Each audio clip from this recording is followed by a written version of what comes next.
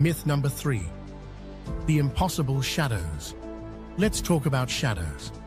In a lot of Apollo photos, the shadows from the astronauts and the equipment aren't parallel. Theorists say this proves there were multiple lights, like in a film studio, because the sun is so far away, it should create perfectly parallel shadows. This is just a classic trick of perspective.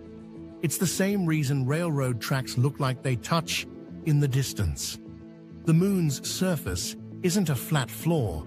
It's covered in hills, craters, and bumps.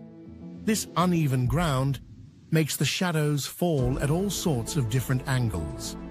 When you see that on a 2D photo, it can look like the shadows are going in different directions. You can see this for yourself on any sunny day with a couple of objects on bumpy ground. No Hollywood lighting needed, just basic geometry.